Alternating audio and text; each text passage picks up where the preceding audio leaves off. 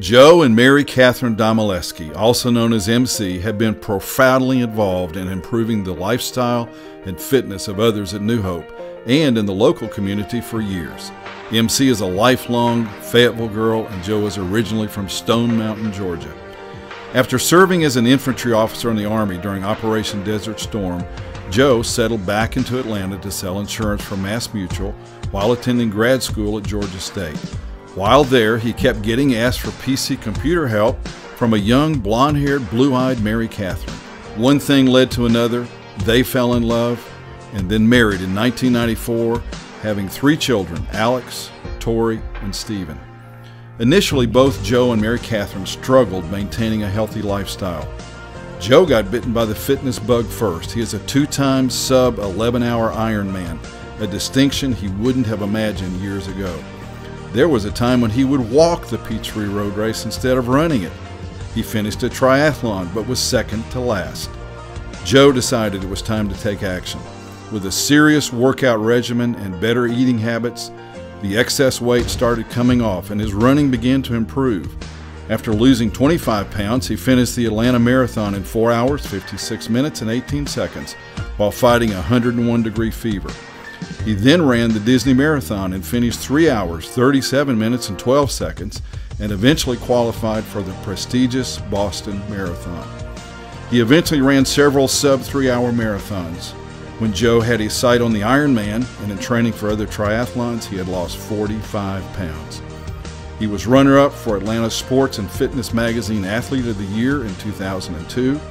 Metro Atlanta YMCA Volunteer of the Year, and a multiple age group winner at local road races and triathlons. Mary Catherine's story is similar and was reinforced by the unexpected death of her mother, George Ann Mercer, a longtime New Hope member and choir member whom many of you may remember. George Ann struggled with her health and died at the age of 58 from a heart attack. She's buried across the street in the New Hope Cemetery. Inspired to make a change, MC joined a gym and committed to a fitness routine, realizing she had to change her lifestyle completely. This progress led MC to begin teaching strength and cycle classes. There was a period of time that Mary Catherine shed 80 pounds. She said setting goals helped her push herself. I just wanted to feel better about myself. It took her five years, and she encouraged others to find out what exercise routine you enjoy and stick to it. MC's credentials include Aerobics and Fitness Association of America, personal trainer and fitness counselor, to name a few. She was a Fayette Woman magazine cover girl and fitness columnist for the magazine. One of the most important outcomes of Joe's commitment to fitness was a direct encounter with the Lord while training for the 1999 Ironman. Inspired by his mother in law's death, Mary Catherine's good example, and rigors of training, he was led to Christ by Richie Desio and baptized by Hall of Famer Hugh Kirby down at Starr's Mill in September 1999, two months before his first Ironman. Joe's salvation would play an important role 10 years later when hard times set in.